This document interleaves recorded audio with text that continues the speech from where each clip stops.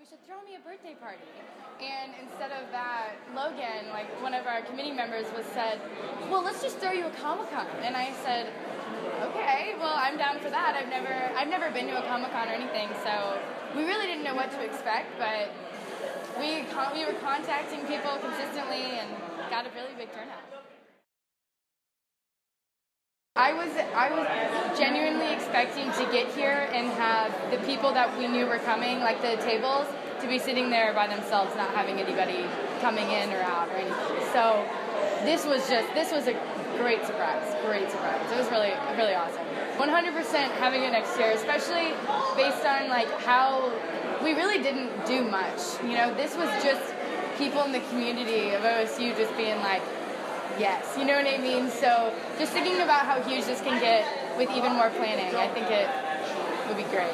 I came out because I love doing conventions. I I just fanned so hard when I saw somebody in a costume. I love talking to people that have the same interests as me and people that appreciate my art because it shares that same interest.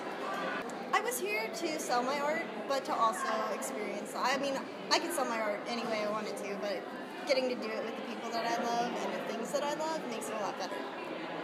I thought it was lots of fun. I mean, it's always the bit of the bittersweet moment uh, getting to be at a convention and selling my art because I'm usually at the art table the whole time instead of getting to walk around. But I, I still get to interact with people, so that's great.